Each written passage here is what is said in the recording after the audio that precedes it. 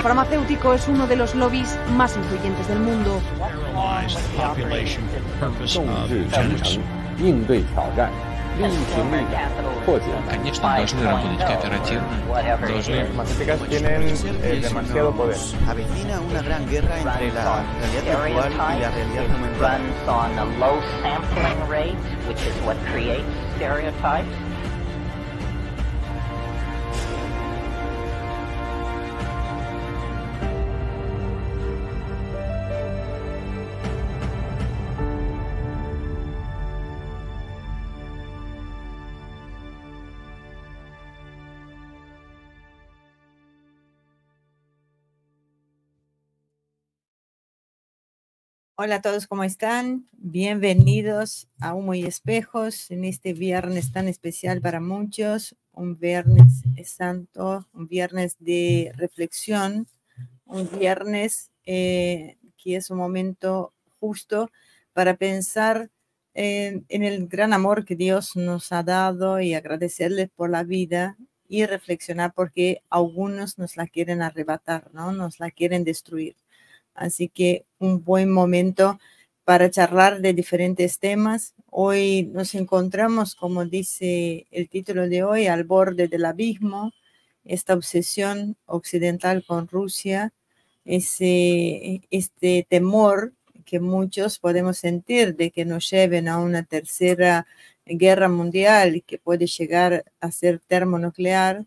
Así que en vez de estar en un día tranquilo, como dije a un principio, reflexionando, debemos estar ahí con esta preocupación, analizando qué nos depara el futuro, un futuro muy cercano, no estamos hablando de acá a 10 años siquiera, estamos hablando de un futuro muy, muy cercano, un año decisivo para, para muchos, así que vamos a estar ahí eh, charlando sobre el tema. Muchísimas gracias a todos los que ya están listos para escuchar, para interactuar con nosotros. Al final, quisiera hablar sobre un mail que nos escribieron de, desde Adacri, que a veces la gente no, no entiende la dedicación, el trabajo que uno, que conlleva todo esto, ¿no? Que conlleva todo. Eh, el ACTV sobrevive gracias justamente a este esfuerzo, no solo familiar, sino a esta colaboración de todos ustedes. Y bueno, es una manera de, de, estar presente. Así que los invito a dar like, a compartir nuestro contenido, a ser miembros del canal. Eh, nuestro patrocinador en Patreon, toda colaboración es bienvenida. Principalmente los invito a sumarse a DACRI, es, es, la Alianza para el Desarrollo Auténtico y Cooperación Ruso-Iberoamericana. Muchos reclaman qué quieren hacer, que debemos, dónde debemos empezar. Y yo digo, bueno, acá tienen una punta, así que traten de, tratemos de aprovecharla, tratemos de aprovechar esta oportunidad. Ya voy a estar poniendo los enlaces ahí en el chat. Muchísimas gracias, ya veo muchísimos esperando ya muchos comentarios que vamos a tratar de ser respondidos. Hoy a las 17 horas también tenemos un programa muy especial con el coronel Carlos Pisolito. Ahí voy a compartir una pestaña de él. Va a hablar sobre los pueblos bíblicos y el uso del terrorismo. No puse este nombre ahí para evitar justamente ser sancionados por YouTube, pero es lo que realmente significa. Así que va a ser también a las 17 horas con el coronel Carlos Pesulito. Así que vayan poniéndose cómodos, que tenemos una tarde bastante completa hoy. Volviendo al tema de hoy, Marcelo Ramírez, ¿cómo estás? Eh, bueno, acá estamos, ¿no? Un día eh, hermoso, un día lindo de sol, reflexionando un poco sobre la vida y lo que está sucediendo en el mundo. Me siento, me siento de alguna manera reprochado por un día hermoso de sol estar haciendo este vivo. Me parece que, que no deberíamos haberlo, haberlo hecho en algunas opiniones, pero No, bueno, así favor. son las cosas. Por favor, el trabajo siempre tiene prioridad y uno debe estar acá eh, nos debemos a nuestro público. Adiós Javier Abram, y, y- Javi- y con el mazo dando. Exacto. Javier Abram es, fue el primer like, es el de él de hoy, así que muchísimas gracias. Eso ayuda muchísimo, Javier. Ya voy a estar comentando los otros, los otros mensajes. Y Tene- bueno, alguna tenemos- reflexión. Sí, tenemos pendiente traerlo a Rafael Machado. Es- Está Rafael Machado eh, saliendo en, en Humo y Espejos, pero en la versión que grabamos para el canal de televisión.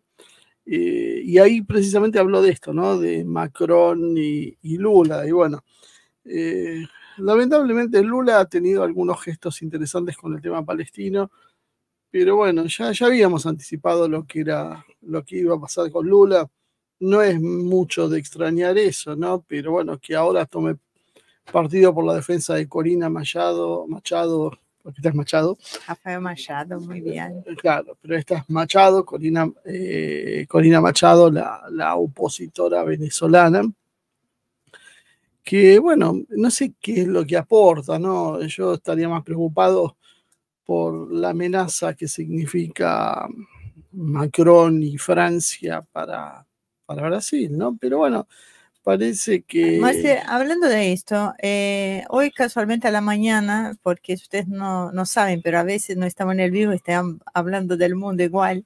Eh, eh, Cramasol dice algo interesante que mi ley ya no puede pasar ni col- por Colombia, ni y Venezuela, ni Cuba, ni Nicaragua, y México, ni en toda América Latina. Se sui- suicidó mi ley.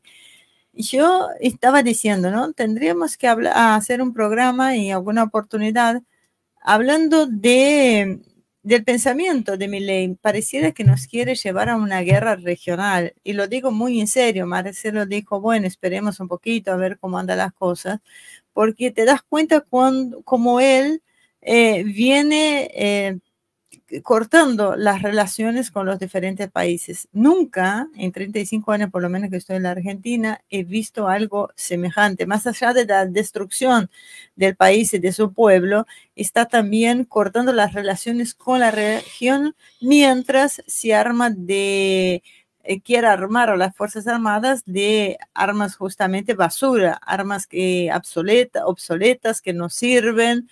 O sea, ¿qué está jugando este hombre? Pero bueno, un Ah, comentario cortito y, y lo Sí, dejamos sí, para no, es, tema. es interesante, creo que después podríamos preparar algo y charlar más sobre esto. Ah, ¿no? se lo dice Cramasor, sí, digo yo que lo haga, vos no lo haces. No, no, es que no me el dejaste- día de reproche, ¿ves? Lo- ahora que lo hablo, lo pensaste. Ahora que dijo No, otro, lo pensaste. no, Gracias, Es que no me dejaste terminar. Sí, sí, sí. Lo que yo estoy diciendo es que por ahí habían puesto que venía yo con la pastillita roja.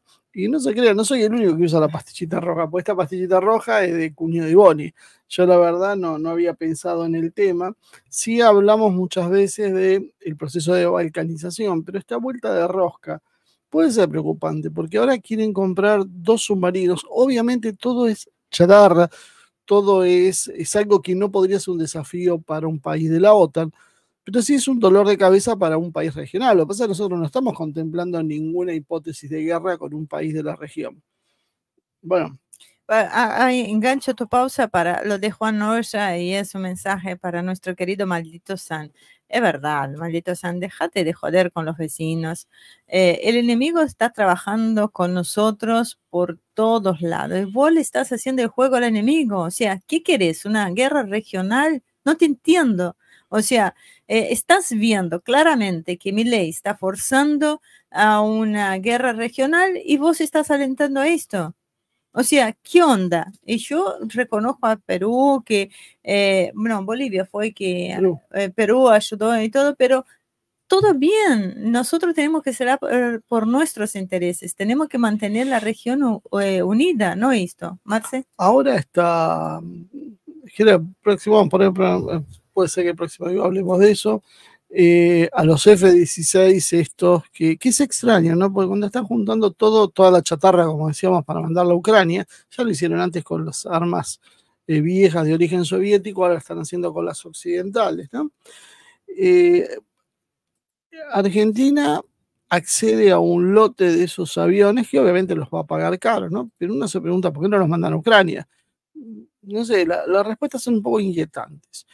Y ahora nos enteramos que además eh, Argentina estaría en negociaciones para comprar eh, dos submarinos eh, de origen alemán, no me acuerdo de qué país eran, ahora, les voy a buscar la información, por aparentemente 40 millones de euros. Bueno, se imaginan que dos submarinos a precio de 40 millones de, euros los dos, bueno, es, básicamente un regalo, claro, también eh, después pasa lo, que pasa, ¿no? Después no sabemos si son seguros y mucho menos que sean aptos para combate.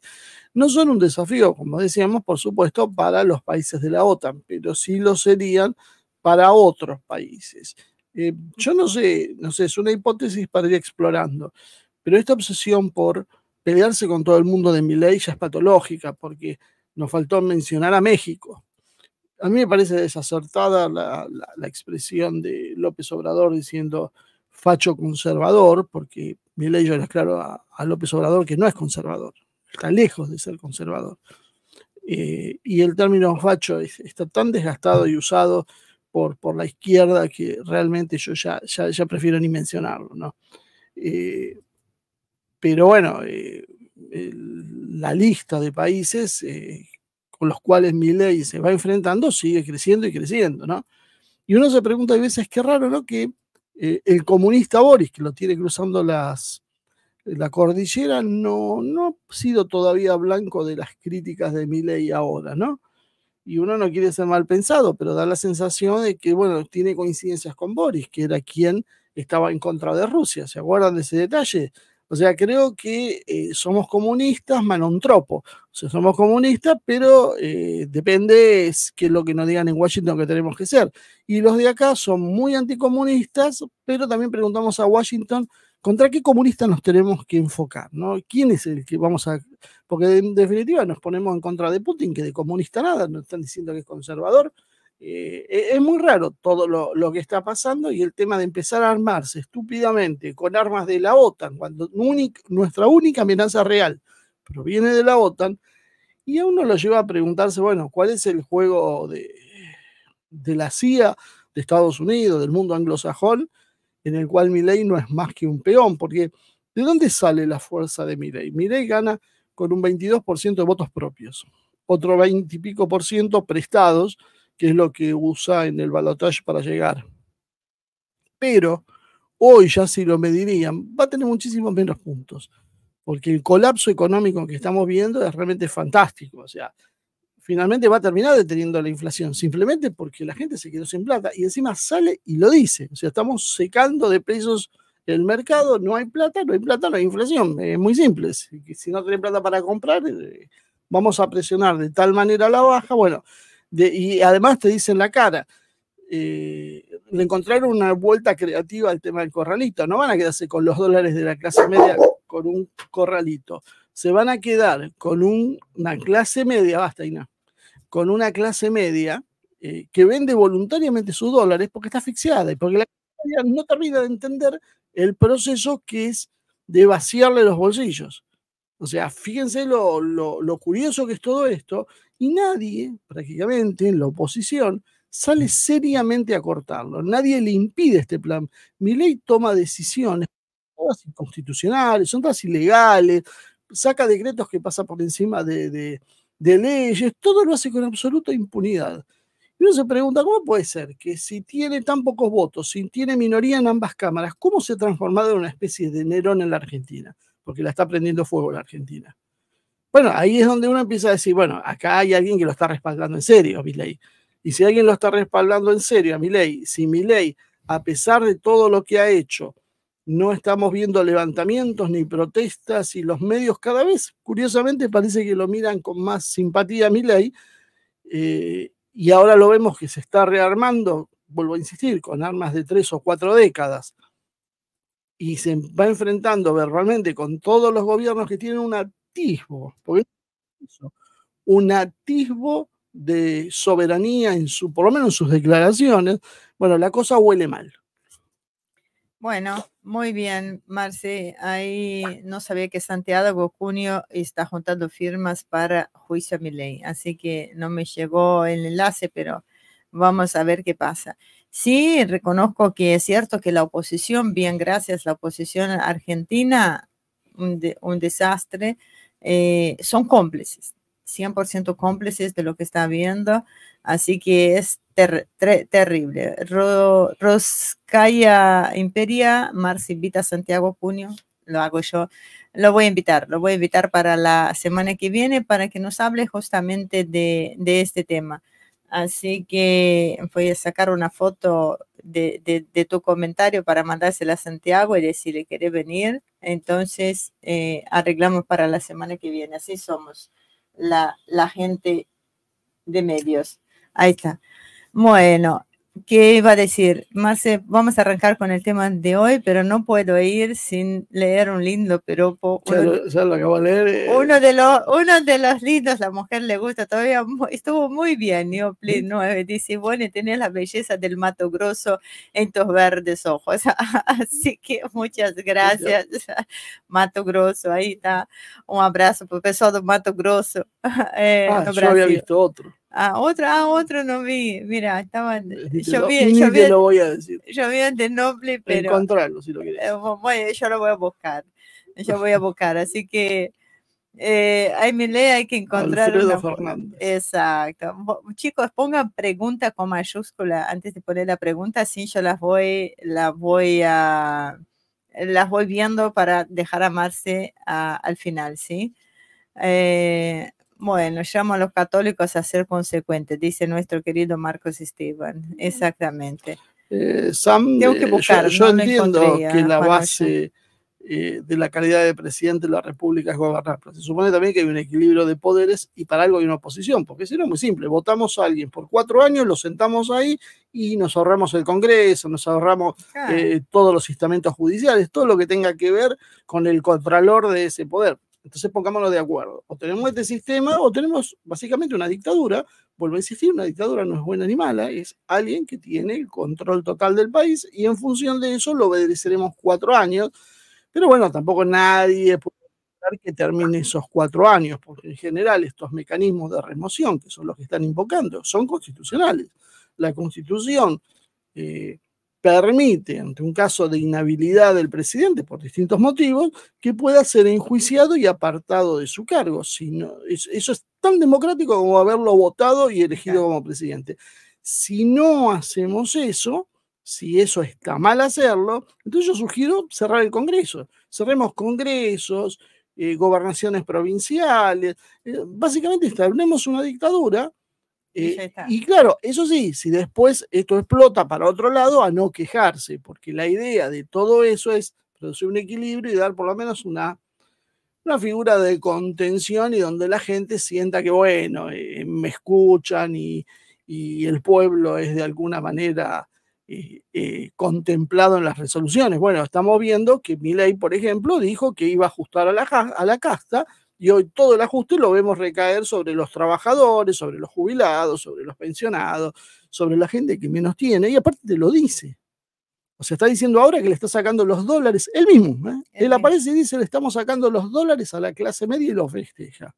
Esa era la casta, porque no le avisaron a la clase media antes de votar que ellos eran a los que iba a dejar, porque a la, la- la la casta de verdad, la empresarial e inclusive la política sigue siendo su vida exactamente igual que antes. Exactamente. Bueno, ahí está. Por favor, pongan pregunta con mayúsculas, solamente la palabra pregunta, antes de hacer fehacientemente la pregunta que ustedes quieren.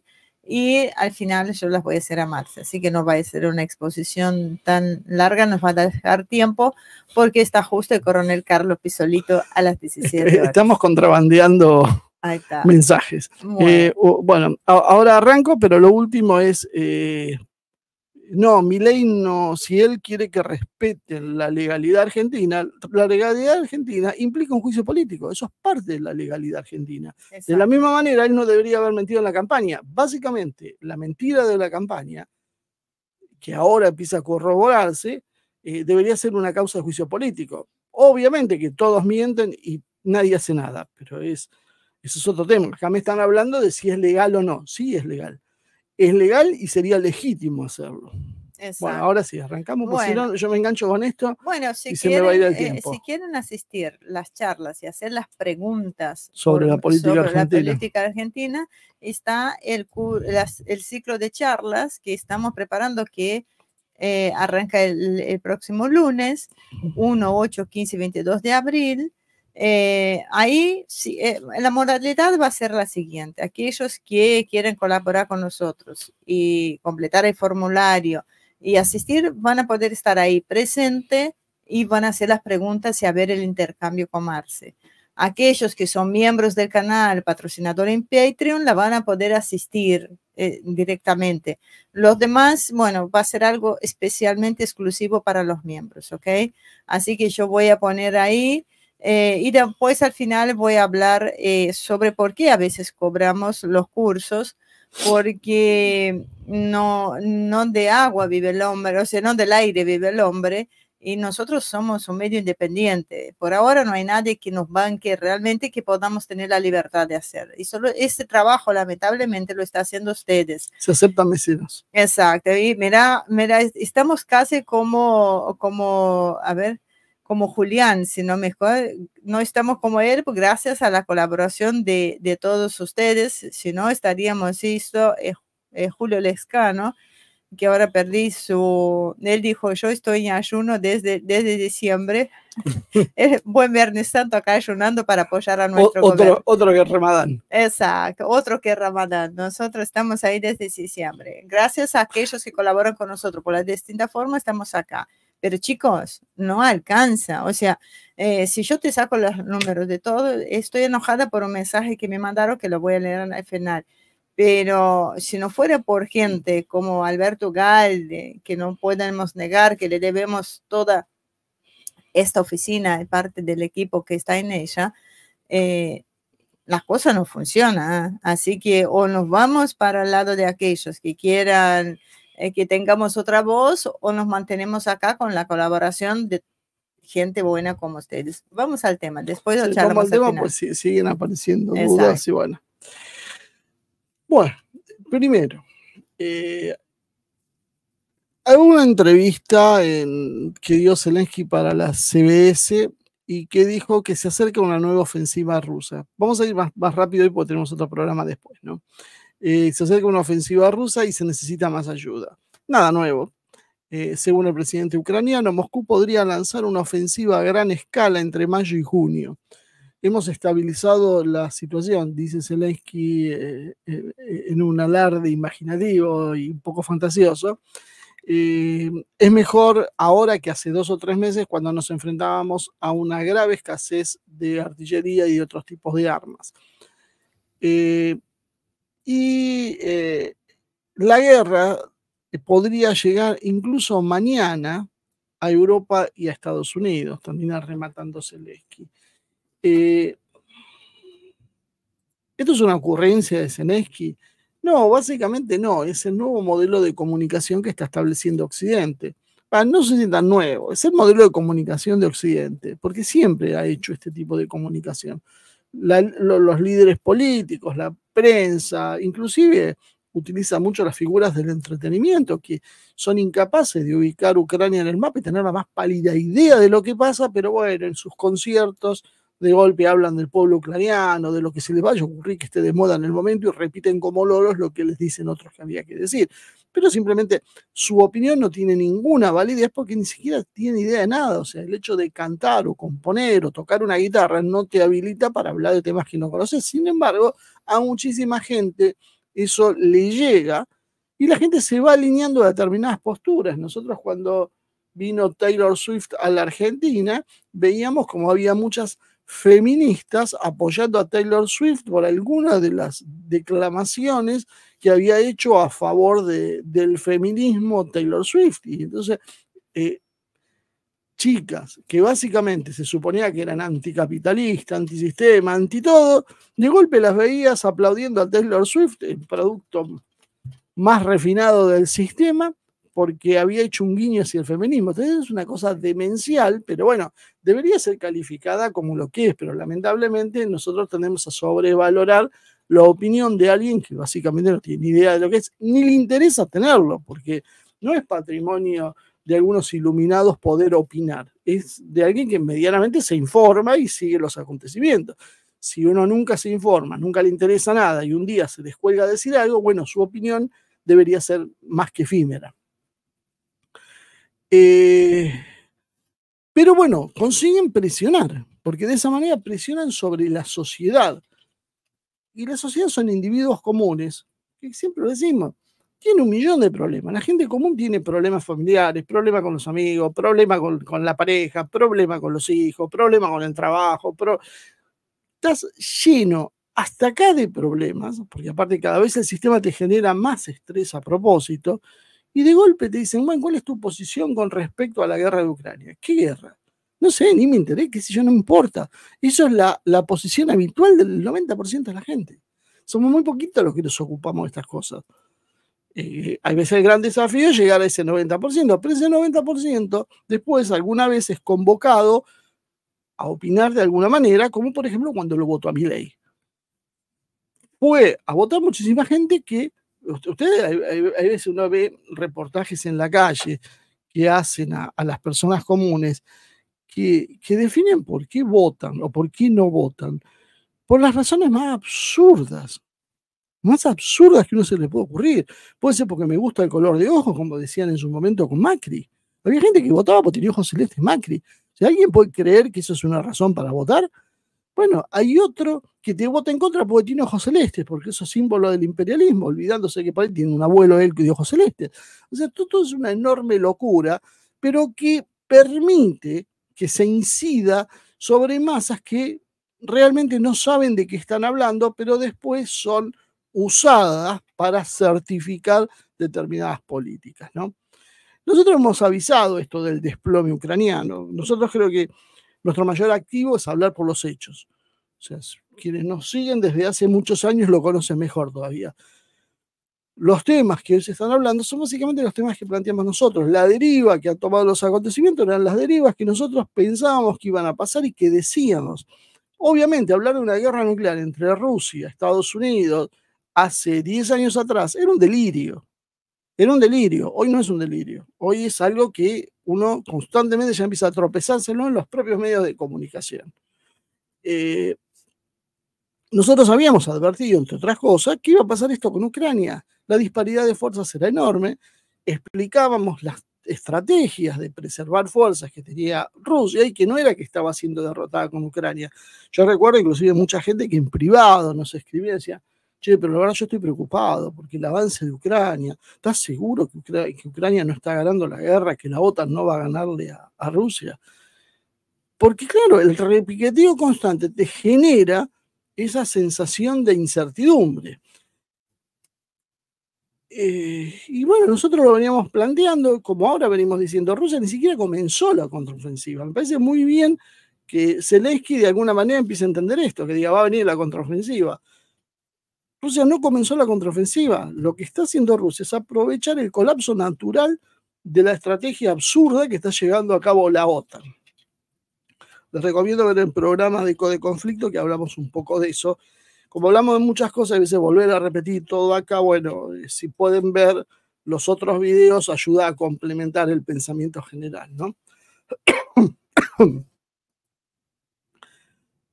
En definitiva, lo que dice Zelensky tiene bastante razón. La, ofensiva del ejército ucraniano eh, facilitó el desplome que hoy estamos viendo y Rusia simplemente aprovecha las circunstancias, pero está presta a avanzar sobre Ucrania cuando lo necesite.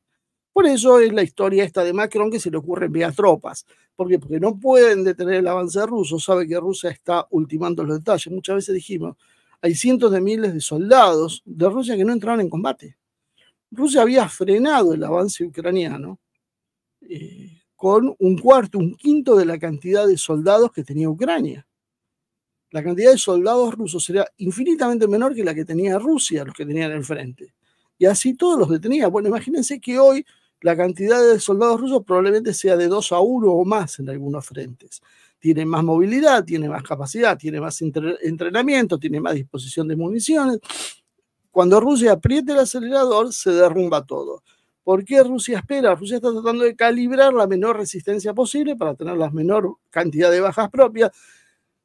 Rusia hubiese preferido otra deriva que no sea la destrucción de la infraestructura ucraniana, como está haciendo, porque después hay que reconstruir esa infraestructura y la cuenta va a caer sobre las espaldas de Rusia, que va a ser quien va a ganar la guerra y quién se va a hacer cargo, porque de alguna manera esto es implícito. O dejas el país abandonado a su suerte, como pasa en Libia, o eh, te hacer cargo. Rusia no quiere un país eh, sin un sistema confiable y estable en sus fronteras. Eso es clarísimo. Entonces Rusia necesita reordenar finalmente el país y a eso es a lo que va, ¿no? Eh, y Macron lo que hace es poner sus tropas con la idea de, eh, bueno, tratar de aprovechar y decir, bueno, si hay tropas francesas, que además nosotros tenemos armas nucleares, los rusos se van a frenar antes de avanzar sobre eso. Bueno, yo creo que Macron se está, eh, Macron se está equivocando en el cálculo, pero bueno, por ahora esta es la idea que él tiene y es lo que está poniendo inquietos a muchos otros europeos, porque algunos están a favor, pero también hay otros que están diciendo este matrimonio está loco, nos está llevando a nosotros a un desastre. Ante este cuadro demencial, la pregunta sería, ¿por qué los europeos no reaccionan? Porque en definitiva es, nos destrozan económicamente, cosa que por ejemplo estamos viendo en la Argentina con nuestro propio gobierno, pero después te llevan a una guerra ¿Por qué la gente no sale a la calle y dice basta? Porque la realidad, yo no estoy viviendo en Europa, por los conocidos que tengo, me da la sensación eh, que no es que está todo el mundo en contra de la guerra. Es un poco lo que decíamos acá. La mayoría no está muy enterada de qué es lo que está pasando. Sí, sabe la situación en general, pero no, no entiende demasiado bien las razones. Tampoco le interesa, sobre todo los jóvenes que solían ser históricamente los motores de rebeldía, que salían a la calle y demás, están preocupados por otras cosas. Y ahí calan esas ideologías woke que yo decía. Los jóvenes salen a la calle el día de la marcha por el orgullo gay y salen de a cientos de miles, eh, salen a la calle para protestar por, por el aborto, pero los están llevando a una guerra y sin embargo eh, están pasivamente asistiendo al espectáculo prácticamente sin protesta. Hay algunas movilizaciones, pero son pequeñas. Dado eh, la decisión que hay, tendrían que salir básicamente millones a la calle para poder parar esto. Esto no se para con un puñado de gente que sale, porque la decisión es eh, a todo nada, está tomada por las élites sabiendo lo que están haciendo y frenar esto es básicamente arrebatarles el poder. Entonces esto no, no, no va a ser tan simple.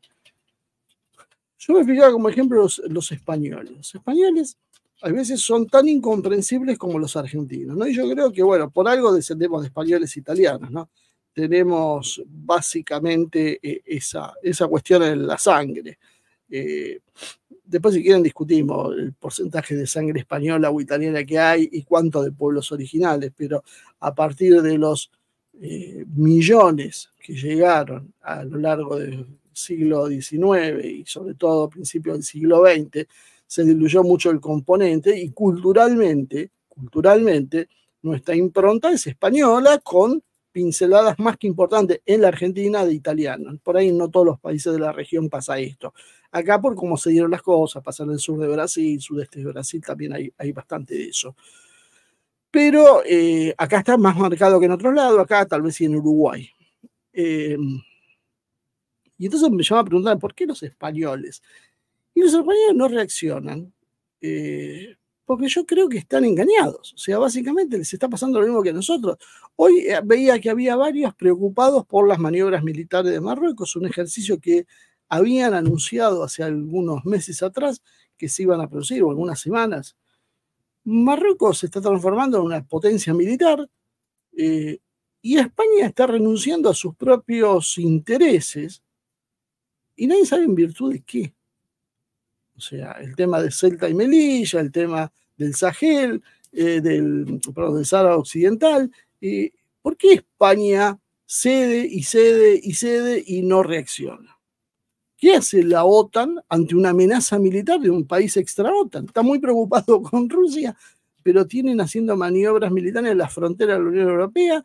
Tienen muchos españoles diciendo esto se está poniendo complicado. Y bueno, algunos dicen que la explicación es porque Estados Unidos está jugando con Marruecos. O sea, España no merece ni siquiera la atención de Estados Unidos. Al que hay que seducir es a Marruecos, que es el que interesa hoy. Total, España ya está en el redil. Eh, Y esto se da, curiosamente, con un gobierno socialista español. Un gobierno socialista que es aliado de Estados Unidos y del Reino Unido. Y si uno recuerda un poquitito y va para atrás, se encuentra con que España tiene el territorio ocupado, Gibraltar está ocupado.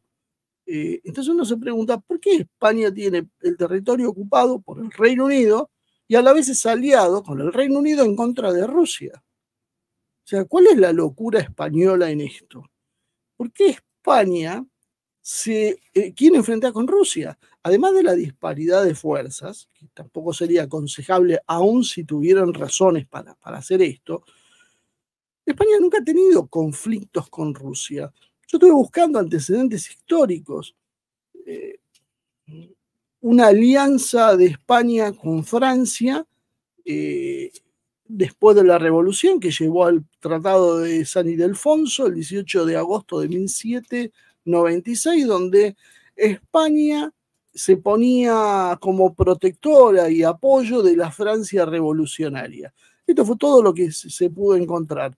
No mucho más que eso, y eso duró hasta 1807, eh, hasta el Tratado de Fontainebleau, eh, o Fontainebleau, sería algo así, eh, que le permitió a las tropas francesas atravesar España para invadir Portugal. Claro, obviamente esto generó después el conflicto que ustedes ya saben. Entonces, uno se pregunta, ¿Por qué si España nunca, en, este caso, no chocó directamente con Rusia? Nunca estuvo al principio en una alianza que después derivó en un enfrentamiento con Rusia, pero no, no pasó de eso. Y por otro lado, podríamos decir en la Guerra Fría, jugó alguna ficha a favor de la coalición occidental, pero encima ni siquiera España estaba dentro de la OTAN en ese momento, salvo en las etapas finales después de la muerte de Franco y después quedó casualmente otro gobierno socialista, si no me equivoco, eh, haya metido a España en la OTAN. Es muy curioso el papel del socialismo eh, en Europa, ¿no? Eh, esos son todos los antecedentes. ¿Por qué razón España se quiere meter en una guerra para atacar a Rusia o para defenderse de Rusia cuando nunca tuvo un problema en la historia con Rusia? Tiene problemas hoy con Marruecos que lo saben, tiene un montón de problemas España y además tiene parte del territorio ocupado, porque que miren por otro lado no significa que el problema no exista. Eh, yo creo que es una simbología y, se entiende mucho eh, en lo que pasa en la Argentina con Malvinas. Muchos dicen, o algunos dicen, bueno, dejen esas islas porque al final no les cambia nada. Más allá de la proyección continental, de, la proyección en el mar, de la proyección en el Atlántico Sur y hacia la Antártida, que son más que importantes, eh, hay una cuestión casi simbólica, podríamos decirlo. Si vos no podés recuperar un territorio y vos aceptás que alguien te lo saque así, y ni siquiera, ni siquiera formalmente mostrás disconformidad, eh, bueno, claramente estás quebrado y sometido por dentro. Y eso es lo que le pasa a España con Gibraltar, donde cada vez deja de ser más tema de conversación. Las elecciones españolas, nadie discute que hace, no es tema. Gibraltar. Lo mismo que pasa cada vez más con Malvinas en la Argentina. ley gana ignorando básicamente el tema de Malvinas. ¿Y ahora qué hace? Empieza a jugar con los británicos. Entonces, bueno, eh, eh, los paralelismos entre la política exterior española y la Argentina eh, son los mismos. O sea, son muy parecidos. Entonces uno se pregunta por qué los españoles tienen esta actitud y por extensión el resto de los europeos, porque estamos hablando del caso español, pero si vamos a ver el resto de los europeos, en muchos lados nos vamos a encontrar que tienen viejas cuentas con los británicos, que tienen problemas con los Estados Unidos o con otros aliados de Estados Unidos, y sin embargo siguen aliándose con ellos, en una actitud suicida, porque tienes la mayor potencia nuclear del mundo, a la cual estás desafiando estúpidamente. Estúpidamente, porque lo que Rusia les reclamaba, y se hubiesen ahorrado todo este problema, era que saquen a la OTAN de las fronteras. Entonces, hay una nota de un periodista suizo que se llama Georg Hester. Hester eh, justifica creo que de alguna manera condensa esta corriente de opinión a favor de la OTAN, a favor de ir en una guerra con Rusia. Ahora sí voy a acelerar un poco, si no, no voy a llegar, porque es medio largo esto. Eh, dice eh, Hessler que no hay que eh, negociar con Rusia. Sin una demostración de fuerza por Occidente es probable que Rusia gane la guerra el próximo año. acuérdense que hasta hace poco negaban esta posibilidad. Si el frente colapsa por completo, Rusia podría dividir a Ucrania actual mediante un acuerdo de paz moldeado a los deseos de Moscú. Por supuesto, y eso es lo que va a terminar pasando. Las, las ambiciones imperiales de Putin habrían alcanzado un hito. En el mejor de los casos, el conflicto quedaría congelado. Uno se pregunta por qué son ambiciones imperiales de, Rusia, cuando en realidad lo que nosotros vemos es que Ucrania quería entrar en la OTAN, que es una alianza básicamente antirrusa. Olvidémonos de los formalismos. Todos sabemos que la OTAN nació para luchar contra la Unión Soviética y cuando se disolvió la Unión Soviética, no solo no se disolvió, sino que le impidió a Rusia entrar. Rusia planteó, bueno, queremos entrar en la OTAN. Ahora ya no somos más comunistas, ya no somos más enemigos. ¿Y qué le dijeron? No, ustedes afuera. ¿Por qué? Porque la alianza es contra ustedes. Entonces, ¿cómo podemos plantear que esto es una actitud imperial de Putin cuando en realidad vos los estás empujando a eso? Después sigue, la lucha contra Rusia, de Rusia contra Occidente estaría lejos de terminar, dice Hessler. La, la punta de la ofensiva, ahí me parece el primer mapa, la punta de la ofensiva ya ha llegado a Occidente. Una nueva escalada también podría afectar a la reunión alpina con su infraestructura crítica. Esto después lo vamos a desarrollar un poquito más, ¿no? Pero uno se pregunta, ¿cuál es la punta de la ofensiva rusa que ha llegado a Occidente? Que yo sepa, que yo sepa, Ucrania no está en Occidente. Eh, si vamos a los países bálticos, no está en Occidente. Otros problemas hay en Siria o en Medio Oriente que no están en Occidente. Eh, hay otros en África que tampoco están en Occidente. ¿De dónde saca Hessler que eh, todo esto le está llegando a Occidente. ¿no? Ahí ven un mapa donde pone una base y muestra él cómo la cuestión va a ir evolucionando desde la desinformación, la subversión, el sabotaje, luego eh, las acciones militares puntuales hasta una guerra de agresión. El objetivo del Kremlin, yo estoy siguiendo contando lo que él escribe, el objetivo del Kremlin es debilitar a la OTAN y a la Unión Europea y, si es posible, incluso dividirlas y fragmentarlas. Eh, bueno, creo que los están dividiendo y fragmentando con esta guerra suicida. Eh, paso a paso, dice él, Rusia va tanteando el camino hacia una guerra abierta. El Servicio de Inteligencia Nacional, FSB, y el jefe del Estado Mayor, Gerasimov, han liderado una estrategia.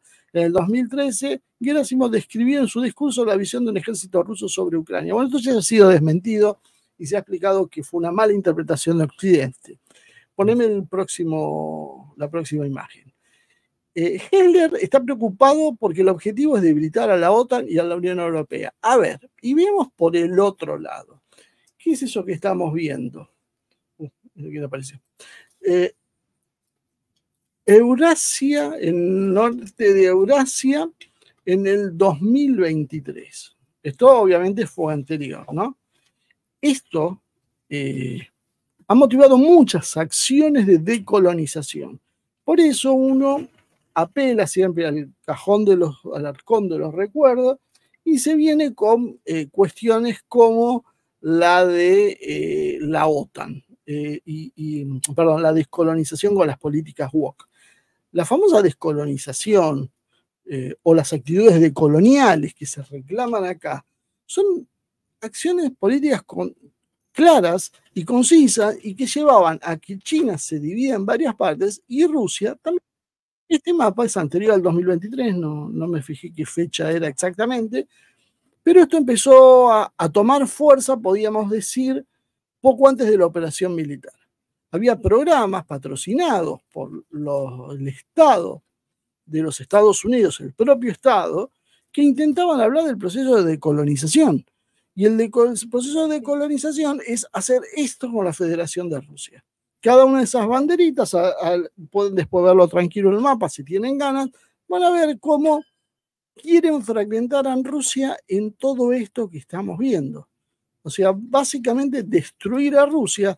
Y esto parece una locura. Bueno, no es tan una locura si uno piensa que en el año 90, en el año 1989, la Unión Soviética, que había heredado el Imperio Ruso, incluía a todos esos países que están alrededor. Eran 15 países más, era prácticamente el doble de ciudadanos de los que hoy hay en Rusia. Y se fracturó. Y apareció un montón de países que no existían y que nunca habían existido.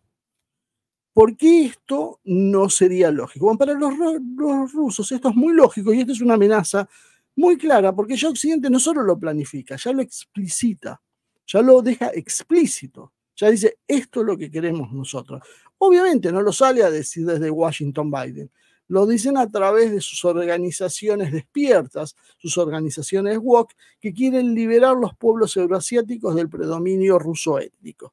Bueno, es esto. Esto es básicamente lo que ellos quieren. Eh, y sigue escribiendo Hessler, ¿no? Y dice, la estrategia ha sido aprobada y comprobada. La Alemania nazi y la Unión Soviética comenzaron la Segunda Guerra Mundial de esta manera. Las medidas activas de la KGB durante la Guerra Fría también se basaron en los mismos principios. En la década del 2000, el Kremlin reactivó, reactivó viejos eh, métodos. Todo esto parece muy interesante, muy bonito de contar. Eh, eh, si realmente vamos a, desarrollar esto, bueno, llevaría horas y obviamente es un absurdo, ¿no? Pero lo importante no es si esto es cierto o no. Lo importante es que lo creen.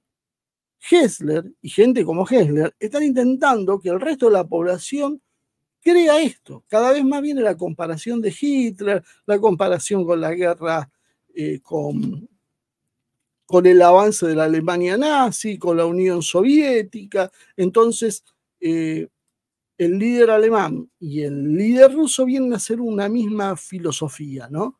Y esto también lo hacía la KGB. Y uno empieza a preguntarse eh, si no están yendo demasiado lejos, porque la discusión en Europa es, nosotros no frenamos el nazismo en Alemania, debemos frenar ahora a Rusia porque eh, si no vamos a terminar en una guerra mundial. Eh, obviamente van a terminar en una guerra mundial si se les ocurre hacer lo que están diciendo que van a hacer, que de hecho lo están haciendo. Y después, yo hay algunas cosas como, como para ir centrando lo que él dice, ¿no? Básicamente, Hessler habla de la posibilidad de una victoria rusa y en Ucrania, pues a hacer un pequeño resumen de, la nota y de las consecuencias que va a traer esa victoria. O sea, ya da por un hecho lo que hace dos años que venimos discutiendo. La guerra la la Rusia, pero bueno, los expertos militares nos decían que no, porque no tienen combustible, usaban neumáticos chinos y demás. Yo siempre me acuerdo de Jago Rodríguez y sus eh, explicaciones. Eh, los preparativos de Rusia eh, que están aconteciendo para hacer una ofensiva contra, la, contra Occidente, y como consecuencia se nos da a entender que va a haber una división de Ucrania según los términos de Rusia. Eh, bueno, si gana la guerra es muy probable que esto pase, pero que los objetivos a largo plazo son debilitar a la OTAN y a la Unión Europea. Bueno, eh, básicamente, si vos me decís desde la OTAN que tienen que detener militarmente a Rusia, que tienen que llevar las fronteras de la OTAN hasta las propias fronteras rusas, como están haciendo, como hicieron con el intento de ingresar Ucrania y con los países bálticos que ingresaron y Suecia ahora que se sumó y demás, yo creo que, bueno, e, es muy probable eh, que, que, sí, los planes de Rusia esté debilitar, no solo debilitar, hacer desaparecer la OTAN, porque es mínimamente una garantía de seguridad. Pero el problema es como que está viendo la cuestión en espejo y estamos entendiendo cómo ellos justifican la acción de agresión, que en realidad para ellos es una acción defensiva. Las estrategias rusas que utilizaría serían entonces una guerra híbrida y una guerra de desinformación. O sea, Rusia estaría implementando una guerra híbrida, eh, probablemente de la misma manera que la implementa Occidente, porque ya lo hablamos muchas veces, están en guerra, cuando hay guerra hay dos contendientes. La desinformación rusa me cuesta verla, sobre todo porque el manejo de los medios lo tiene Occidente. O sea, si es desinformación, eh, decir mínimamente, por ejemplo, que las armas occidentales están sobrevaloradas, que hay eh, intervención directa de la OTAN en Ucrania. Ayer, ayer antes de ayer, se, conoció que murió en un ataque ruso un general polaco. Eh, bueno, sí, parecería que entonces sí hay desinformación. Tal vez la desinformación real es la que hace Occidente, que nos está vendiendo las cosas cambiadas. Eh, y después sigue insistiendo con la doctrina Gerásimo y sus aplicaciones en los conflictos actuales, ataques a infraestructuras críticas y ciberataques. Ahora podemos desarrollar un par de, estos puntos más en detalle que creo son importantes. Y futuros objetivos y tácticas habla de un enfoque hacia los países bálticos y Moldavia como los próximos objetivos la manipulación de las minorías rusas y la generación de inestabilidad interna en los otros países. Lo que está describiendo es una guerra que es probable que Rusia también utilice esas herramientas, porque son las que están, está usando la OTAN no solo contra Rusia, está usando contra todos los países. El tema de la desestabilización interna es básicamente lo que se hace y la manipulación de minorías, bueno, pregúntele a cuántos países destruye Occidente. Generaría posibles olas de refugiados, yo me acuerdo olas de refugiados, por ejemplo, cuando destruyeron Siria, Siria cuando atacaron Siria, cuando destruyeron Libia. Eh, creo que las olas de refugiados se producen, pero no es exactamente porque Rusia las está produciendo. Me da la sensación que es lo contrario.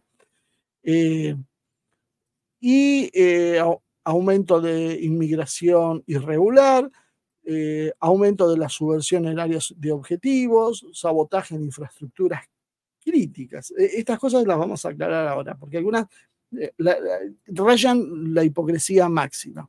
Poseen la expansión de acciones militares individuales descubiertas y los escenarios de la escalada serían operaciones militares encubiertas en regiones con minoría rusa, riesgo de confrontación directa entre la OTAN y Rusia y el papel crítico de la resistencia occidental y la unidad de la OTAN.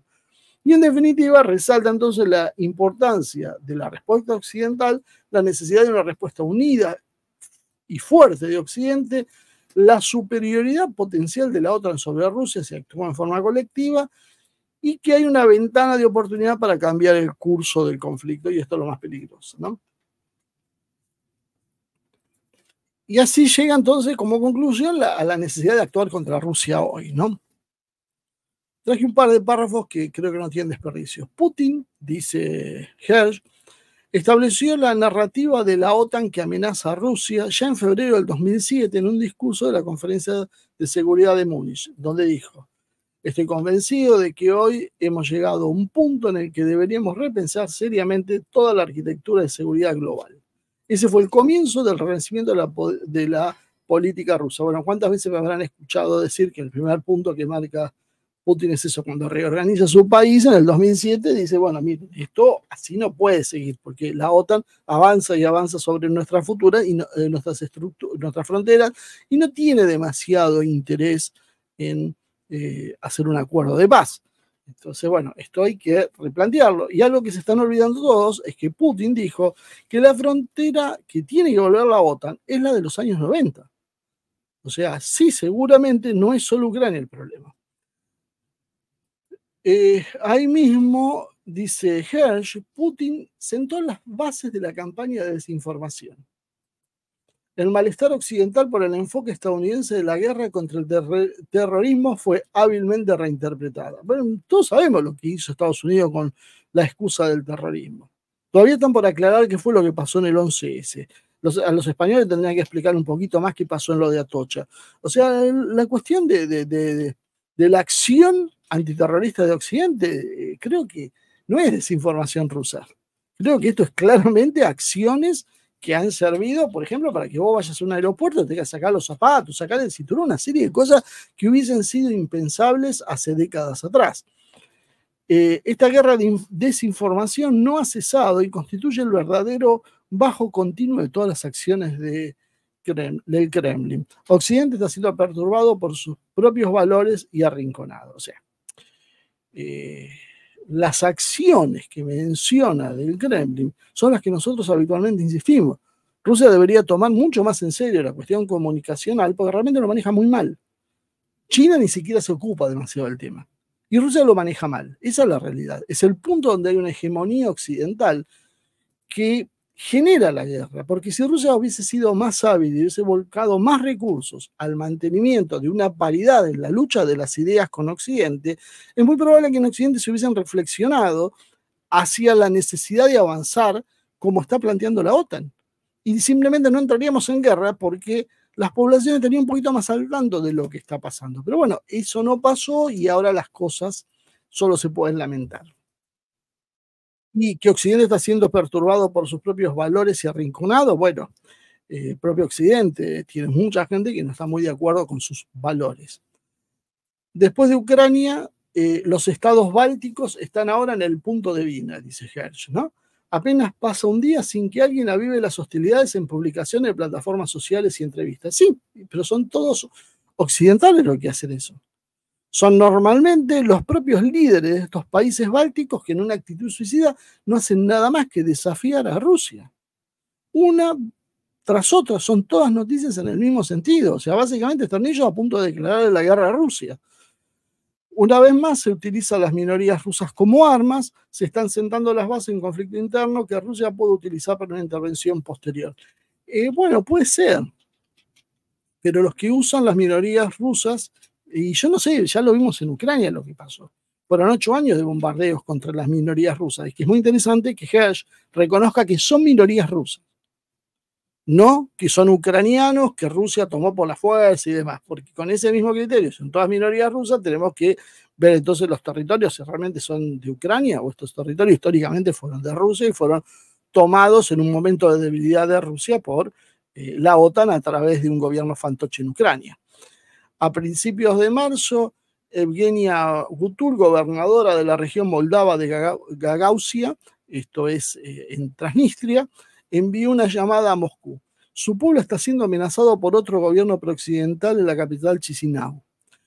Es probable que la República de Moldavia, que no es miembro de la OTAN, se convierta en el primer campo de pruebas para la ofensiva rusa contra Occidente. Bueno, todo va a depender si Moldavia decide atacar a Transnistria, donde ellos saben que hay soldados rusos y que además hay 200, 300 mil, no recuerdo cuánto, creo que son entre 300 y 400 mil eh, habitantes que son rusos, se identifican como rusos y más de 200.000 tienen documentos rusos inclusive. Los estados bálticos están haciendo todo lo posible para evitar que se produzca una situación militar. O sea, los estados bálticos más bien están haciendo todo lo posible para que se desencadene esto. El eslabón más débil de la cadena es Letonia. Eh, poneme eh, el mapa el próximo. Eh, es Letonia, el país que tiene la minoría rusa más grande. La vida está fuertemente concentrada en la capital Riga, en una ciudad que la élite rusa todavía añora hoy. ¿Será porque siempre fue rusa? No sé. Un panorama político eh, fragmentado, el partido letón de la armonía se esfuerza por lograr una dudosa armonía con Moscú. Fíjense cuál es la actitud abierta de la OTAN. Cuando aparece un partido en Letonia, dice, bueno, tratemos de buscar una forma de convivir con nuestro vecino, lo acusan de una dudosa armonía, que es la única cuestión aceptable, es la guerra con Rusia. Y dice que Moscú intensificará su subversión contra Letonia en los próximos años, dado que las elecciones están previstas para el 2027. El problema es que lo que no cuentan es que los gobiernos están haciendo lo mismo que hacían los ucranianos en el Donbass. Te persiguen, te matan, te prohíben hablar el idioma ruso, no te dan documentos, no te dejan básicamente vivir si sos perteneciente a una minoría rusa. Eso es lo que genera malestar y eso es lo que también genera malestar en la propia Rusia, donde mucha gente le dice a Putin, ¿hasta cuándo nuestros compatriotas que están viviendo en estos países van a ser perseguidos? Eh, esta parte no parece que no la entendió. Y ahí vemos el, mapa eh, donde plantea los dos problemas que mencionamos, el de Moldavia con, con la cuestión esta que estábamos hablando de Gagausia, y por otro lado la de Latvia, eh, en, que es el otro país más débil, según la concepción de Hersh, que es Letonia. Fíjense qué interesante es este mapa, ¿no? También, porque uno ve a Rusia, a la cual, este, este mapa es de la OTAN, fíjense que es hecho por la OTAN, ¿no? Eh, como a Bielorrusia básicamente lo pone como si fuera parte de Rusia. No, no aclara que en principio es otra cosa.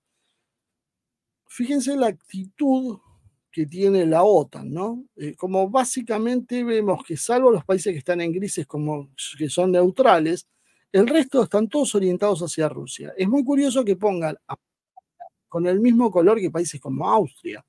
O sea, ¿Ucrania es acaso neutral? O sea, fíjense los, pequeños juegos disociativos que están haciendo. Lo pone igual que Irlanda. Eh, porque, porque, podríamos decir, porque no son parte de la OTAN. Me da la sensación que están jugando un emparentamiento distinto. Vemos ahí con un colorcito más claro los territorios que ahora acaba de incorporar Rusia a su territorio y cuáles serían entonces los focos de conflicto que estamos diciendo y cómo, esto lo adelanto, otro día lo hablamos si quieren más largo, en caso de que haya una guerra, cómo debería actuar Rusia. Lo vamos a ver en un mapa después, que está mejor que este. Hasta ahora los ataques se han dirigido principalmente a infraestructuras en el mar Báltico. Están hablando de los ataques de Rusia, infraestructuras en el mar Báltico. Si la guerra avanza hacia el oeste, es probable que la región alpina también se vea cada vez más amenazada. Rutas clave a través de Austria y Suiza conectan el sur de Alemania y el norte de Italia, que son las regiones más económicamente fuertes del continente. Pones la próxima próximo mapa. Y ahí tenemos marcado los eh, lugares donde próximamente ellos esperan que Rusia haga sus actos de sabotaje, como Rusia hizo en el Báltico. Que yo recuerde, realmente el ataque en el Báltico eh, fue contra el Nord Stream, y dudo que lo haya hecho Rusia, porque fue lo que ocasionó todo el problema y que haya perdido los mercados europeos. ¿Quién ganó con eso? ¿Quién tenía las capacidades para hacer eso? El Reino Unido y los Estados Unidos. Ahora, eh, mágicamente esto es atribuido a Rusia, entonces Rusia nos está atacando, por lo tanto nosotros nos tenemos que defender. Después, el próximo mapa eh, es, ese mapa donde vemos los países, las regiones donde van a producirse los atentados para debilitar a Europa. Eh, yo por ahora no veo más que señales, pero claro, pueden ser profecías autocumplidas, porque como parece que hay un proceso de destrucción de Europa, bueno, no me extrañaría que termine esto pasando, pero no precisamente porque lo hagan los rusos, sino porque lo hagan los propios eh, anglosajones. Entonces después dice, eh, poneme el próximo mapa.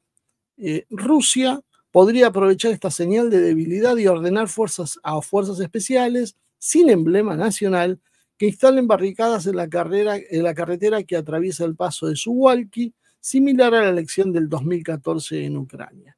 Acá viene el paso de Suwalki, que es lo que estamos viendo acá, Kaliningrado, que es rusa, como Kaliningrado está aislada del territorio ruso porque está cortada entre Lituania y Polonia. Más al sur está, eh, al oeste en realidad, al, eh, al este, está Bielorrusia. Bielorrusia es clave, es indispensable para Rusia en este motivo y sería el lugar desde el cual se aprovisiona Kaliningrado.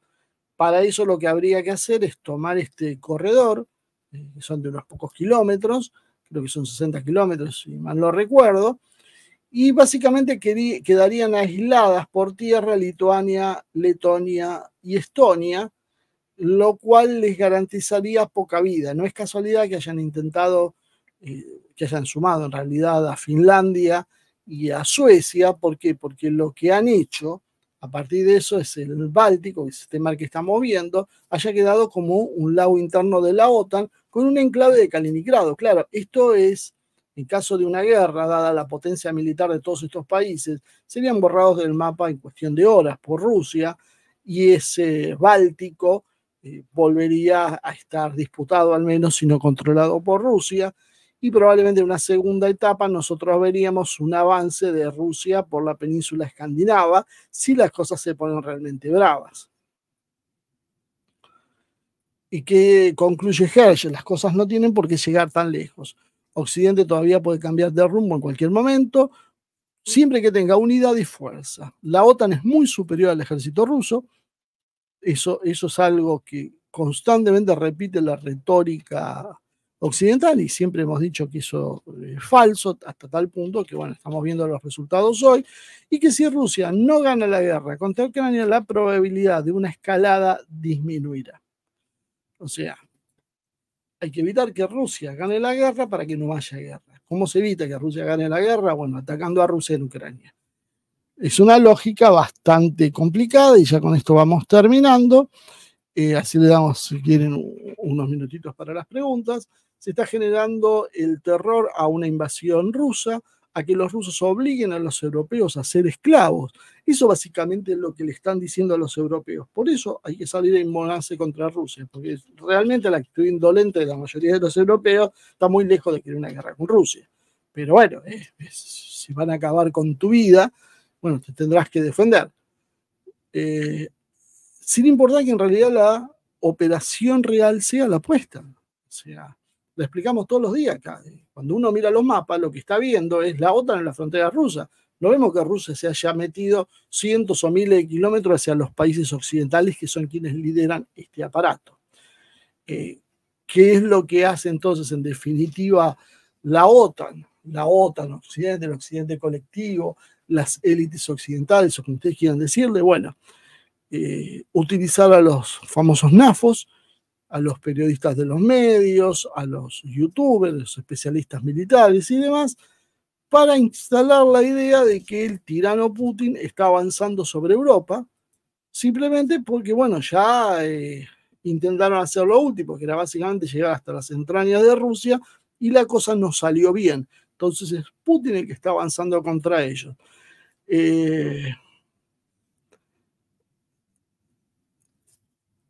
la maquinaria se alimenta entonces con esta gente que nosotros mencionábamos antes, se combina una desinformación real, sí, de la realidad, eh, que lo hace muchas veces, que eso es lo que hablamos al principio, por convicción propia, y otras veces no solo por convicción propia, sino por ciertas ayudas económicas que empujan a que finalmente eh, la cuestión eh, se decante en que la gente tenga miedo y acepte una guerra con Rusia en actitud preventiva porque después Rusia va a llegar hasta Lisboa. Bueno, Rusia no tenía ningún plan de llegar hasta Lisboa, pero van a terminar generando una especie de profecía autocumplida, porque si lo atacan a Rusia, finalmente Rusia sí va a avanzar y va a llegar hasta Lisboa, porque no hay forma de que el poderoso ejército de la OTAN pueda detener a Rusia. Los expertos más serios en temas militares, te dicen, no hay municiones, no hay equipo, no hay entrenamiento, no hay moral de combate. Poner esto en condiciones les va a llevar mínimamente una década para ponerse realmente en condiciones de enfrentar a Rusia. Rusia, sabiendo esto, no les va a dar una década, es, obvio. Si cualquiera de nosotros estaría en lugar de Putin, va a decir, estos se están agarrando, es como vos tenés el vecino de al lado que te quiere matar y el tipo te dice, ¿para qué voy a comprar una pistola? Voy a comprar las balas, voy a practicar tiro, me voy a entrenar bien y después voy y te voy a matar. Pero espérame, espérame, yo, me llevan seis meses hacer esto. ¿No van a hacer algo? mínimamente aunque se haga una denuncia.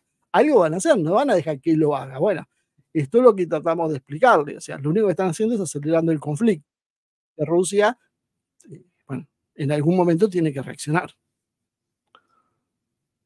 Bueno, Marce, muchísimas gracias. Más que, más que interesante, cortito eh, hoy, como para dar tiempo para que podamos estar eh, respondiendo algunas preguntas. Como indicamos ahí, pongan, eh, pongan pregunta mayúscula para que enseguida en el enseguida ahí en el chat, yo soy la que estoy viendo.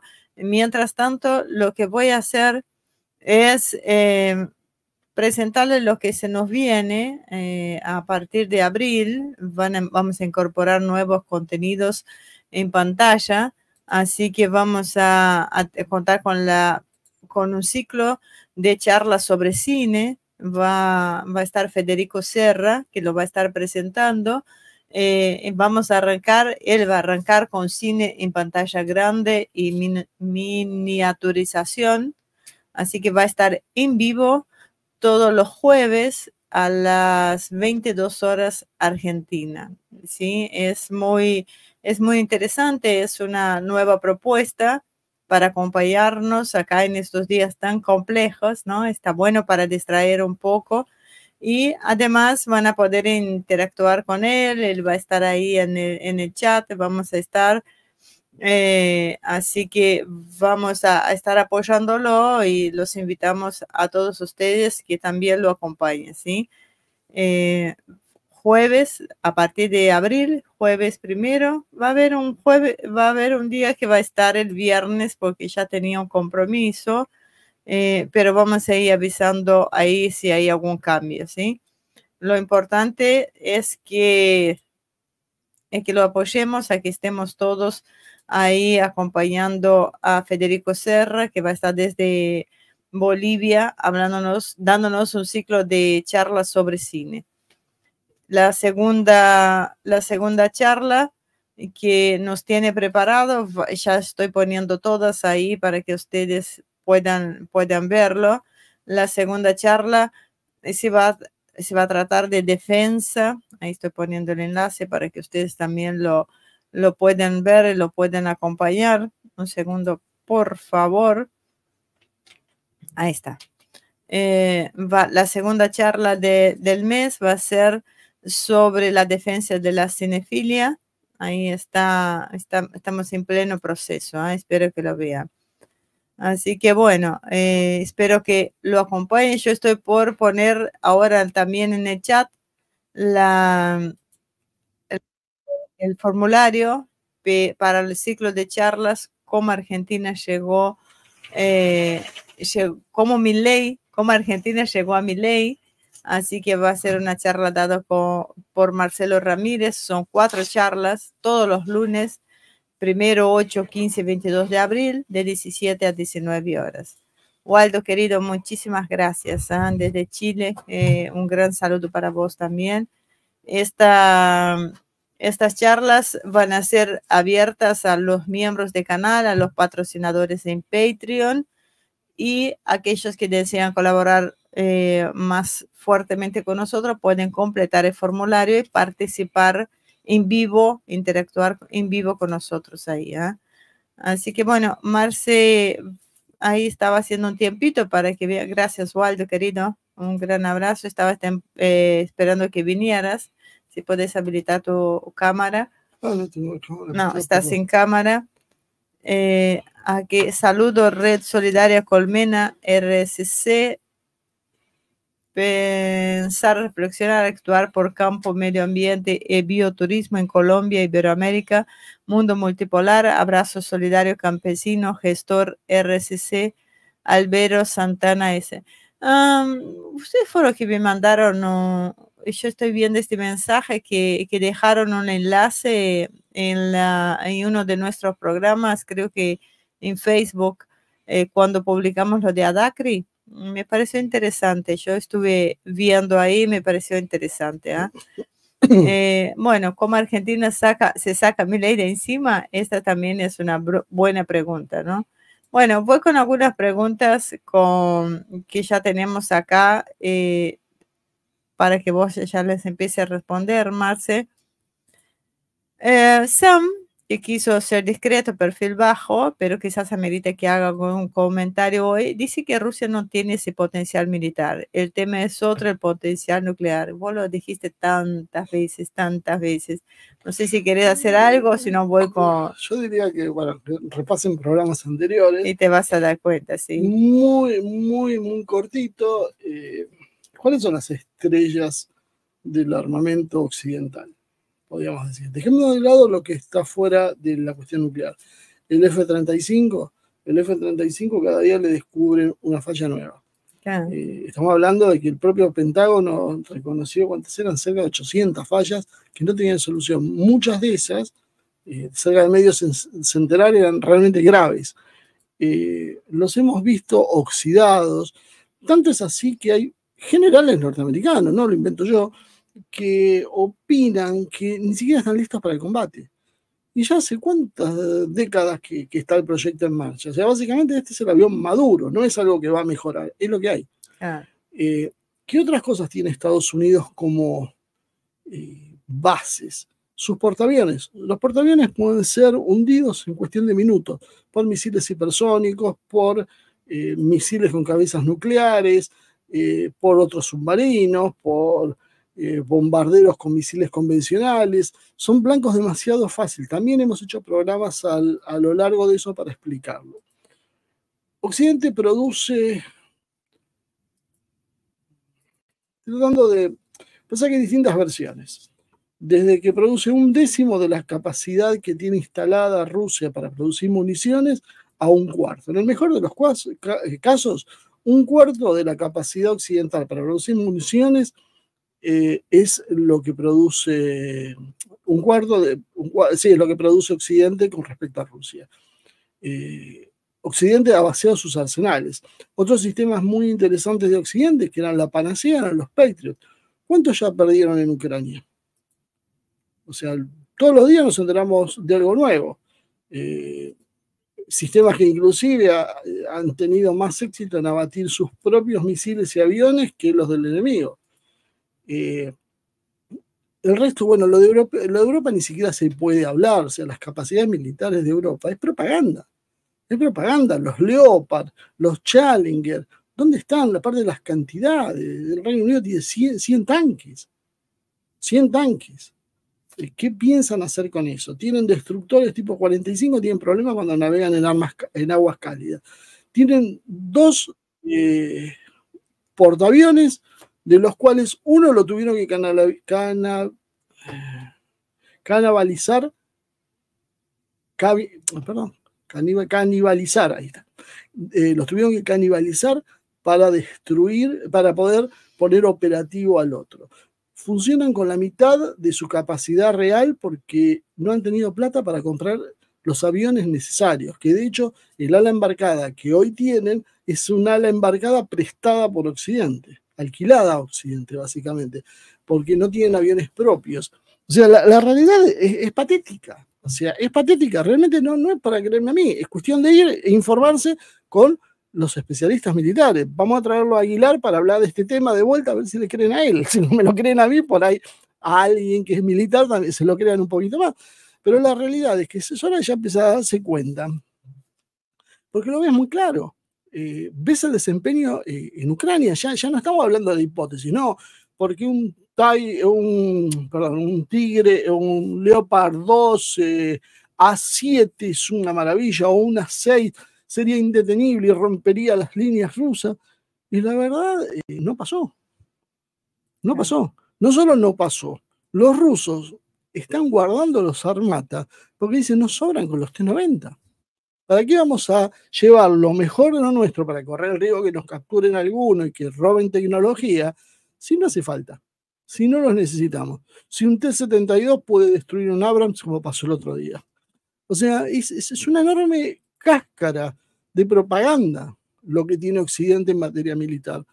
Eh, yo pensaba, la verdad, que en lo que es la materia de armas convencionales, Rusia iba a tener que recurrir a armas tácticas, nucleares tácticas, para enfrentar a la OTAN en su conjunto. Yo hoy creo, la verdad que no, no le va a hacer falta a Rusia. Para la OTAN. Estados Unidos es otro tema, pero Estados Unidos también está bastante por debajo de sus capacidades reales. Lo que pasa es que puede hacer mucho más daño que la OTAN. Si Rusia se enfrenta a la OTAN sin la participación de Estados Unidos, y es algo altamente probable, ¿eh? es muy probable que tanto norteamericanos como británicos miren y digan, "Mm, pero bueno, no están dadas las condiciones para invocar el artículo 5 y dejen solo a los europeos. Los europeos van a durar muy poco tiempo, porque Rusia no va a tener las contemplaciones que tuvo con Ucrania. Vaya metiéndose eso en la cabeza. Los ataques de Rusia van a ser de otra manera. Lo que se cree que va a pasar es que Rusia va a atacar realmente las infraestructuras civiles. Los va a dejar sin luz, los va a dejar sin internet, los va a dejar sin agua, los va a dejar sin comunicaciones. Ya está, se acabó. Van a tener un ejército del medioevo luchando contra Rusia. Después o se rinden o van a ser aplastados. Pero es muy probable que un primer ataque ruso ni siquiera apunte a eso, va a apuntar a las instalaciones militares claves, centros de comando y demás, y los van a dejar sin electricidad, sin internet, en una segunda etapa probablemente sin agua. Y se acabó. ¿Qué van a hacer después? No van a poder ni siquiera mantener su propia población. Entonces, aquí hay una enorme eh, falsedad. Además, tengan en cuenta otra cosa. Atacar Europa con destruir una docena de ciudades que están cerca, Europa queda a dos rodillas. No puedes hacer lo mismo con Rusia por la enorme extensión que tiene. Rusia tiene blancos duros que son necesarios atacar en el medio del interior de Rusia. ¿Cómo piensan los occidentales llegar ahí? Olvídense de los misiles, no llegan. No llegan porque los sistemas defensivos de Rusia van a parar la mayoría. Algunos siempre llega, pero no en la cantidad suficiente. Y creo que eh, es hora de dejar de prestar atención porque ya quedó desacreditada la propaganda occidental. Ya los vimos en funcionamiento sus armas maravillosas que hace dos años, dos años y medio que están mandando y mandando y cada vez subiendo la apuesta. Y los rusos le van encontrando la vuelta a todos, los famosos HIMARS. ¿Por qué los HIMARS ahora no tienen resultado? Porque los rusos ya encontraron la forma de neutralizarlo y así podemos seguir.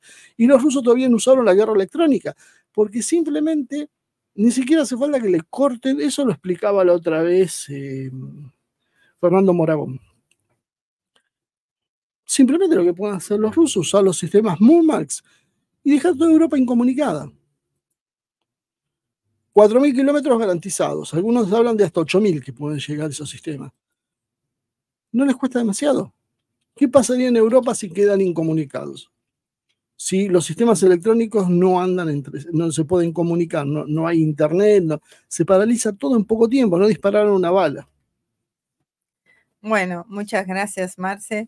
Acá estaba esperando eh, que llegara eh, Glenda Ávila, obrigada, querida. Ele fala que o análise muito objetiva do senhor Marcelo sabe muito de história e geopolítica contemporânea. E agora vou explicar para você, Glenda, por que eu interrompo Marcelo.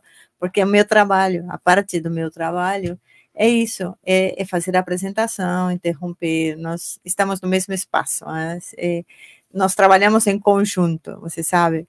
Não é fácil, mas tratamos de fazer o melhor para vocês. Así que, obrigada. Sí, querido, por lo visto te interrumpí, me es disculpas. Me, interrumpís tanto. Me disculpas si la gente se me pone. la interrupción. Viste, no, no me digas así porque después me van a matar. Así que ya está, ya le dije a Glenda, querida. Ya falei para Glenda porque yo interrumpí você. Bueno, ah, está. Cuidemos a los brasileños que no son tantos. No, tenemos un montón de brasileiros ahí no chat. Ah, ay, como era no bate-papo. No bate-papo. no bate-papo, así que obrigada a todos os brasileiros presentes. Bueno, vamos a la pregunta de Edson Luis Méndez. Eh, ¿Cuál es su análisis de la visión de Rusia y China sobre un país BRICS? Brasil para recibir a Francia con celebración Francia promete enviar tropas a Ucrania, Brasilia, Brasil. Tremendo. Vamos a hablar sobre, a profundizar en estos temas, pero gracias por la pregunta, Edson. Me quedo un poco con lo que dijo Rafael el otro día. Rafael Machado. Rafael Machado. Eh, Rafael Machado, Nova Resistência, no Brasil. Busquen, pessoal. Él decía eh, de alguna manera que, bueno, que, Brasil eh, está, está subordinado a, Occidente y que era el eslabón débil de los BRICS. Y la realidad es que sí, inclusive Sudáfrica es un país mucho más rígido eh, en cuestiones ideológicas. Si bien yo creo que, por ejemplo, no, no funciona bien la, la, estructura diplomática, por lo menos en la Argentina de, de Sudáfrica, eh, es muy difícil. Muchas veces hemos intentado hablar con, con diplomáticos eh, sudafricanos acá en la Argentina y la verdad es, es una tarea más que ardua, más suave.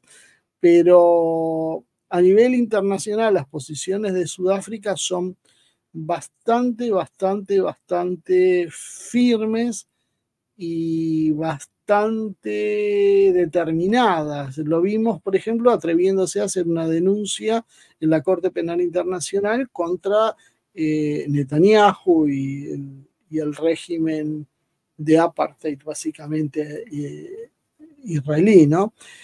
Eh, nosotros lo hemos planteado acá y no siempre nos, nos tomaron a bien. Hubo mucha gente que decía no, pero que nosotros explicábamos el problema de Lula, la dependencia de Lula con la socialdemocracia europea y, básicamente con, Francia. O sea, Francia es un país que ambiciona y es una amenaza para Brasil eh, por la cuestión del Amazonas, porque ya tienen las Guyanas y reclaman desde esa Amazonia eh, poder proyectar fuerzas. Primero lo reclaman como un territorio internacional, de los países que creen que lo ideal sería que Brasil no tenga la soberanía sobre el Amazonas, porque es demasiado importante como pulmón para el mundo.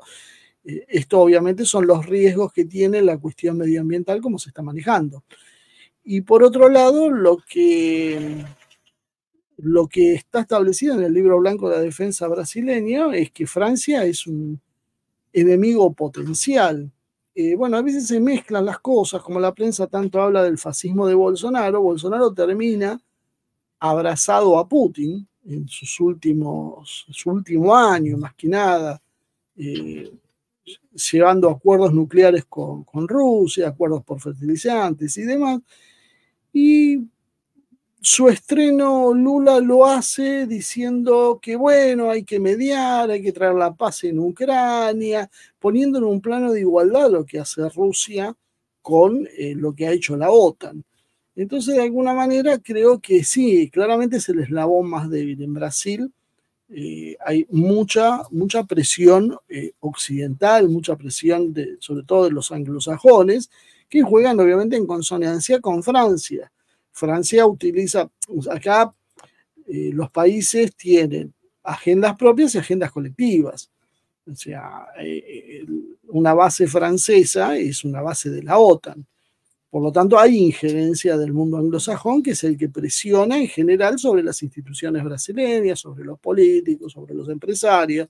Pero además de eso, tenemos a la, la cuestión particular de Francia con su interés por quedarse con una posición más grande de lo que hay en el Amazonas. Y ahora yo estaría más atento porque a medida que Rusia los va expulsando de África, bueno, Francia necesita justificar su, su pretendido estatus imperial de alguna manera y ahí es donde podemos ver que eh, se reorienten con la cuestión eh, del Amazonas en Brasil. Entonces, eh, recibir al presidente de Francia de esa manera es una cuestión delicada. Delicada, yo creo que tenía que ser más prudente. Por otro lado, por otro lado, el, no si fue el rey de Dinamarca, era de un país de Europa del Norte, había andado paseando también y se había ido al Amazonas y lo había recorrido y había muchos brasileños que se quejaban de esa historia, pero eh, no es un personaje cualquiera, no me acuerdo si era de Noruega o Dinamarca.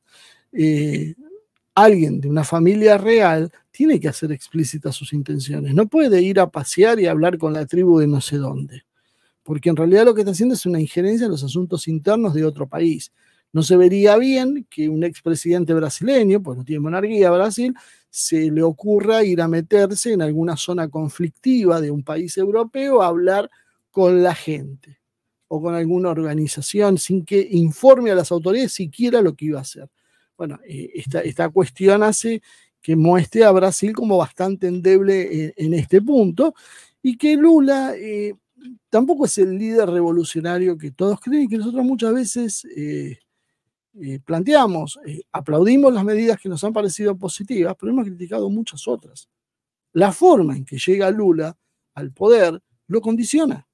Fíjense, el calco es exactamente igual que lo que pasó en Estados Unidos, hasta con toma de Capitolio incluida. Entonces, eh, no, podemos separar eh, demasiado a Lula de Occidente. Lula es Occidente y tenía una posición que podía ser interesante y que podía ser sostenible, mientras la cuestión se manejaba con cierta cautela a medida que traccionan los dos puntos, a medida que Occidente empieza a entrar en guerra con Rusia y a medida que Rusia empieza a entrar en guerra con Occidente, no hay espacios intermedios. Se van agotando esas posibilidades y quedas de un lado o del otro, independientemente de tu propia voluntad. Creo que lo que se está viendo en este aspecto es eso. Lula intenta hacer equilibrio en esa posición, pero cada vez se le hace más complicado. Bueno, el tema de Brasil es complejo. Yo creo que tendríamos que tomarnos un, tema para eh, un tema, un, programa para hablar solamente de, esto. Eh, estaba viendo la pregunta que puso, no me acuerdo quién había puesto. Sí, Alguien puso. Eh, sí, no, porque hablaba. Se dice el pecado, pero no el pecador. Exacto, pero que hablaba de del submarino que pone, eh, que está trabajando, acá está David J. Brasil y Francia están trabajando en submarino. Eh, fíjate que te mandé algo por el chat, Marce. Eh, no sé si tenés información sobre esto. La, la, información que yo tengo es que Brasil y Francia están colaborando con un proyecto de desarrollo del submarino conocido como el Programa de Desarrollo del Submarino, el PROSUD. Este programa fue firmado entre ambos países en el 2008 y tiene como objetivo transferir tecnología para la fabricación de buques militares y es un componente supuestamente clave eh, de la estrategia de defensa de Brasil para desarrollar el poder naval, ¿no? Sí, eh, porque en lo que tiene que ver con la cuestión nuclear, eh, había una, una posibilidad de esa colaboración.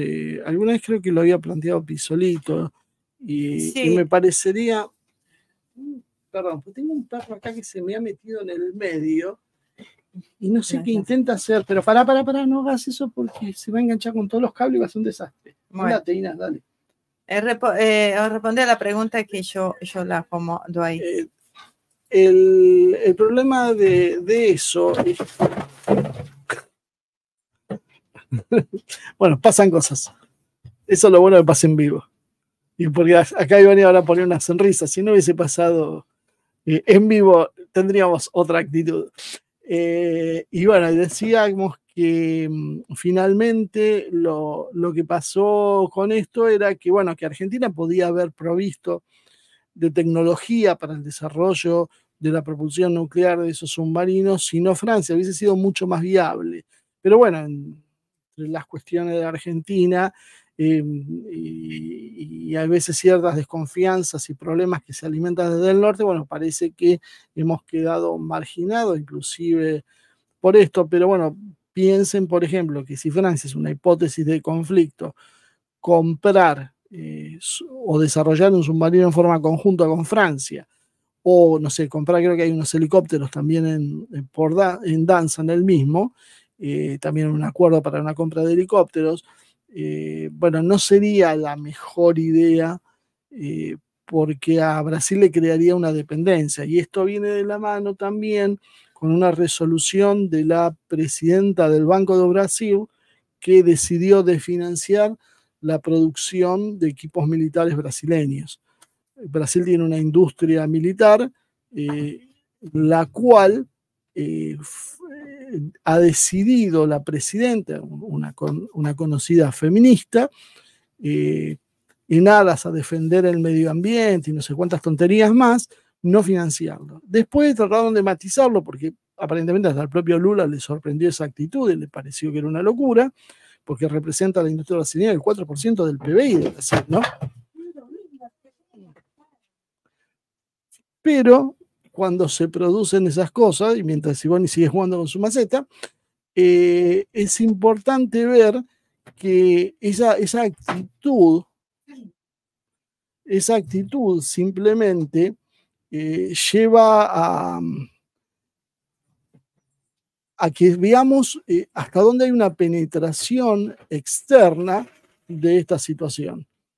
está siendo simplemente complicada la, cuestión porque estamos viendo que, bueno, eh, están destruyendo la industria brasileña y después, ¿qué es lo que pasa? El resultado pasa el que estamos viendo. O sea, en vez de desarrollarlo con otro país eh, sudamericano y amigo, o desarrollar su propia, su propia industria, eh, deciden comprar al exterior. Cuando vos compras al exterior, perdés desarrollo propio, te sale todo mucho más caro y quedas condicionado. Lo mismo que decimos nosotros, le va a pasar a Brasil. O sea, si Brasil desarrolla un submarino con Francia y mañana entra en una guerra con Francia, imagínense que, bueno, Francia tiene una ventaja enorme sobre, sobre eso porque va a ser seguramente proveedor de determinados insumos o asistencias técnicas que son claves para el desempeño de, del submarino. Eh, eso sí, mientras Brasil está viendo qué hace con ese submarino, nosotros estamos comprando unos submarinos clase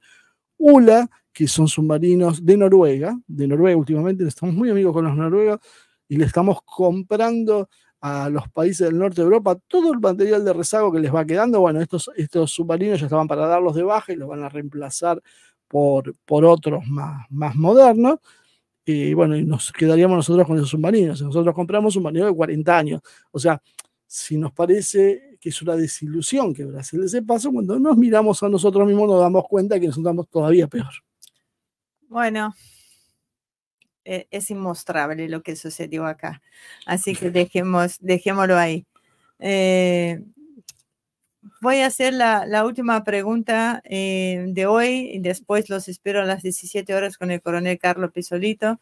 Eh, Rolo Gandolfi dice que puede ganar eh, países como Polonia, Dinamarca, Suecia en ir a la guerra. Los únicos claramente serían los anglos como tal, pero eh, España o Italia ni un chiste.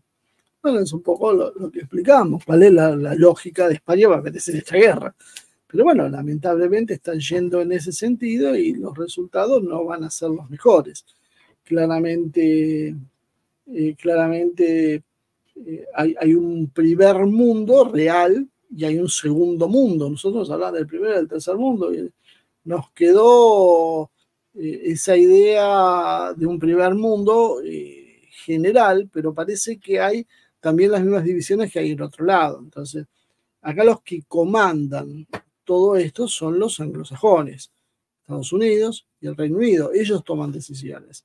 Después hay una segunda línea y después una tercera línea. En la segunda línea, que puede ser Francia o Alemania, bueno, eh, Francia está demostrando que también es un país ocupado, eh, porque está atentando contra sus propios intereses, y Alemania eh, está desmantelándose a sí misma, lo cual ahorra todo tipo de, de comentarios ya. ¿Qué más queda? Bueno, queda la tercera línea, que es, bueno, es el resto de Europa, entre ellos está España, y que eh, ha decidido una vez más fijar sus intereses en el eh, lado equivocado. Yo contaba el otro día que hablaba con, hablaba, eh, se, han metido unos cuantos, como se llaman, NAFOS, que son los amigos de la OTAN, y parece que han descubierto nuestra cuenta de Twitter y vienen y entran y cuestionan y ellos nunca encuentran una razón valedera para lo que vos vas a. No decir, es inútil después argumentar, porque básicamente vienen a hacer propaganda, combinándolo con burlas y qué sé yo. Y, y esta gente, eh, la verdad me había cansado un poco. ¿Cómo fue la solución para sacárselo uno un poco de encima, no? Bueno, la solución fue bastante fácil. Preguntarles si Gibraltar era español o Gibraltar era eh, británico. Pues ninguno supo contestar o ninguno quiso contestar. El que más se animó, yo lo conté el otro día, fue diciendo, no, no, Gibraltar es de jure de facto británico.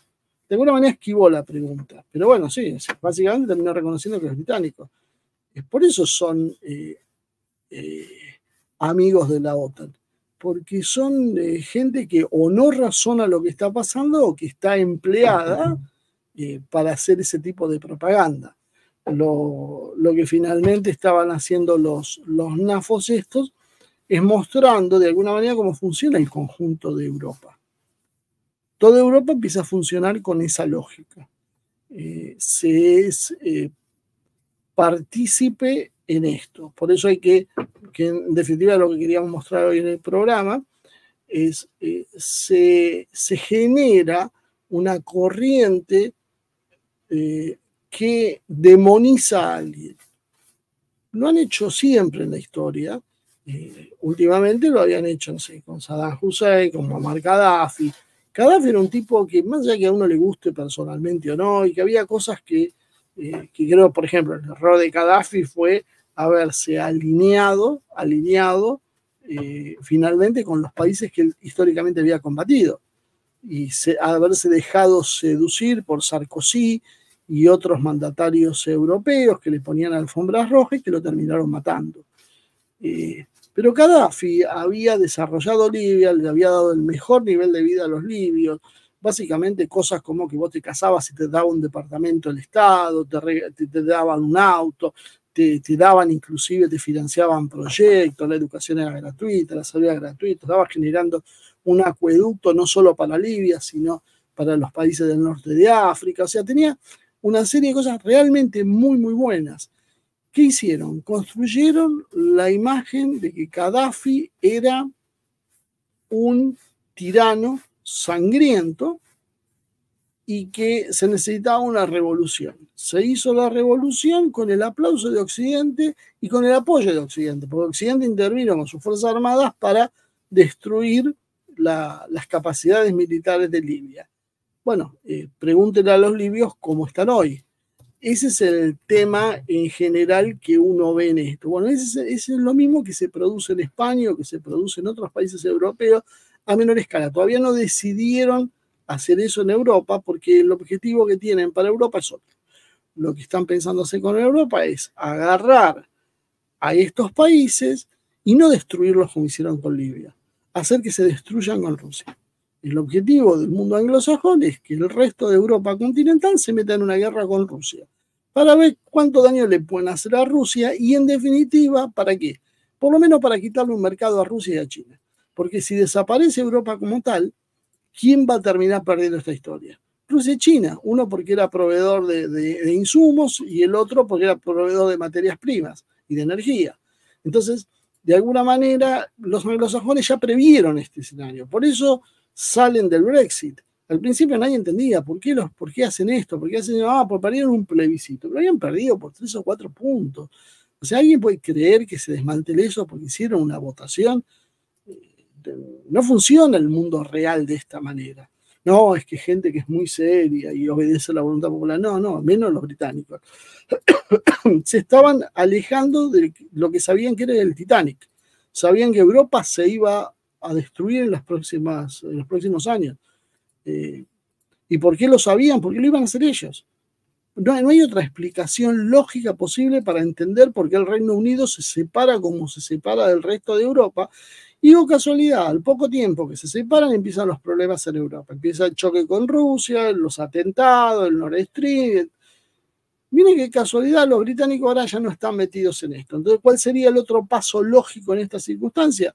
Vamos a una guerra con Rusia, que la peleen los europeos. Los británicos no son europeos, por lo menos a sí mismos no se reconocen europeos, se reconocen como británicos. Eso son otra cosa. Están del otro lado del mar, todo va a depender de que los rusos en algún momento nos digan, bueno, pero además vamos a ir por los británicos. Porque las guerras normalmente, por más que vos sepas que el cerebro está en el Reino Unido, por Rusia no tiene tampoco ganas de meterse con el Reino Unido si atrás del Reino Unido está Estados Unidos. Entonces, por ahí, el resultado sería, bueno, se matan en Europa y vemos qué es lo que pasa. Todo el objetivo es sacarse encima un rival, debilitar a Rusia, debilitar a China de rebote, y después veremos cómo vamos a ir solucionando el futuro, en el futuro las cosas. Pero en definitiva van por ese lado, no, no hay mucho más eh, posibilidades de interpretar esta realidad, porque eh, después la otra es la formal, es la de, no, porque se van porque hacen un plebiscito y en el plebiscito lo pierden y bueno, y a pesar de que ellos querían quedarse las élites eh, británicas querían quedarse. Bueno, en realidad la voluntad popular obró. Los británicos. Ningún gobierno en el mundo actúa así, pero menos los británicos. O sea, se fueron porque había una decisión de irse. La pregunta es por qué había una decisión de irse. ¿Qué sabían que nosotros no sabíamos? Porque sorprendieron a medio mundo. Fíjense que, por ejemplo, Escocia se quiso separar, pero Escocia se separó del Reino Unido. O sea, la voluntad se aplica a veces.